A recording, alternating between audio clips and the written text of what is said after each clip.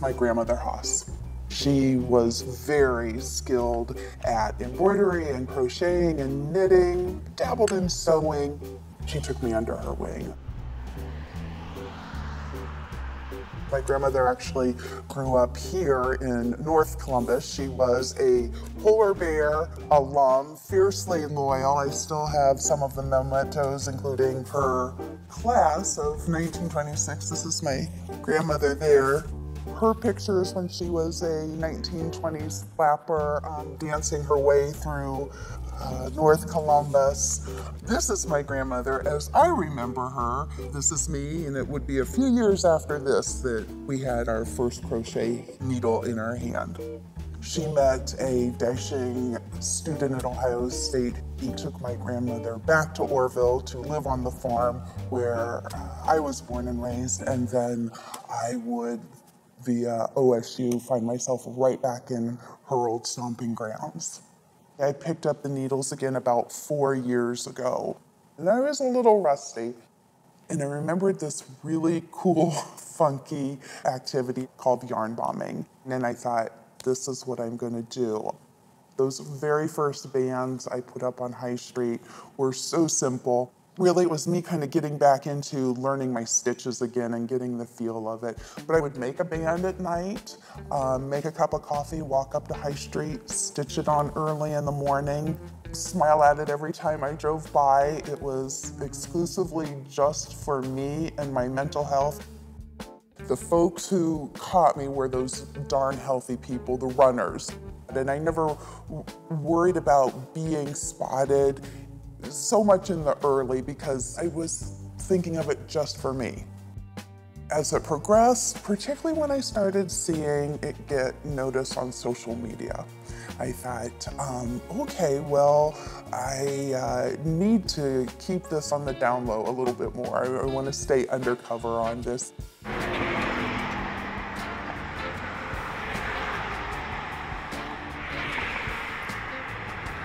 When we made the move to more of a commissioned piece, everything changed.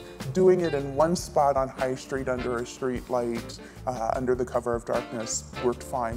When I found myself creeping around people's dark backyards at night, that's when we invested in a miner's light. The ideas for the pieces, either there's a message that I want to play upon. There was a situation that was very humorous in Clintonville that dealt with a kangaroo sign. So I made a kangaroo. Or I will see a structure and I see it as something different. I see the bike rack as a caterpillar crawling. I don't uh, get too involved in um, activism, but there have been some that have spoke to climate change or Pride Month. The Tin Soldier maybe is my favorite until this Christmas when I anticipate a new favorite. What we're going to do at first is learn the basic stitches. And honestly, once you know these stitches, the world is open to you. I saw in Italy a Christmas tree that had been made of individual granny squares. Granny square is a project in crochet that's almost the, the first thing everyone learns how to do, and, and I thought, I would love if we could gather granny squares from all of the crocheters in, in Clintonville and create this beautiful piece of public art. You did great. You did great. On social media, I had noticed people commenting about the yarn bombs. Oh, it makes me want to learn to crochet.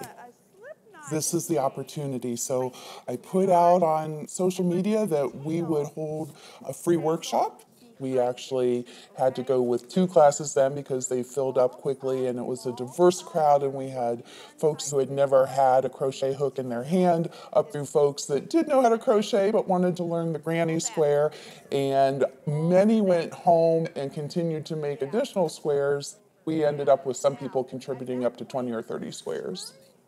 We wanted to certainly have young people uh, involved. I knew from my own experience learning to crochet as a child, uh, how much fun it would be. Fortunately, WOSU Classroom had the resources to make those connections. And now grab it and bring it through. The way the whole STEAM movement has come up, being STEM, um, science, technology, engineering, and mathematics, we're leaving out that A for art. So it shouldn't be STEM, it should be STEAM. Art isn't just some frivolous thing we do to give kids downtime. It is a good way to sit and reflect and take some of those lessons they're learning in the classroom and apply them to something that seems unrelated, but actually does tie together. It was very hard to crochet because I really didn't know how to do most of the stuff. And Miss Kay and Miss Honecker really started to teach me, and then it started to get easy, and then I started to do it faster. I finished three. At first, it was tricky for me. Then, um, after I did it for a couple days, um, I got I got the hang of it. At first, it was just like this little knot right here, but now it's like almost a granny square. I started right here at the knot.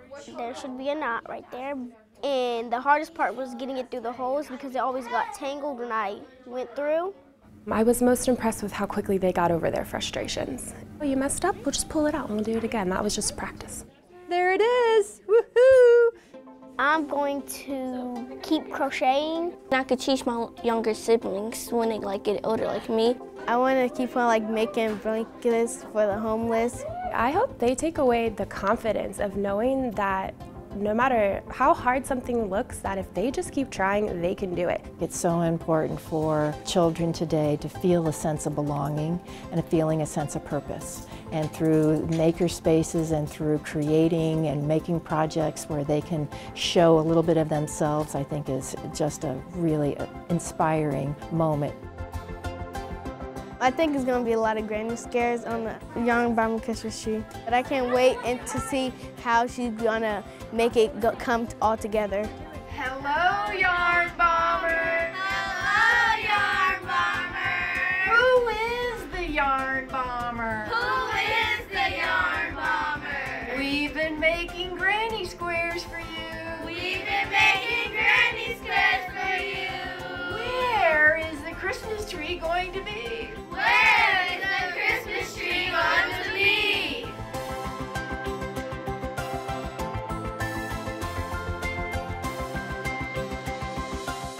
I would like to think that my grandmother would just be thrilled for something that started out just for my own pleasure to know, to hear, to read how much it makes other people smile.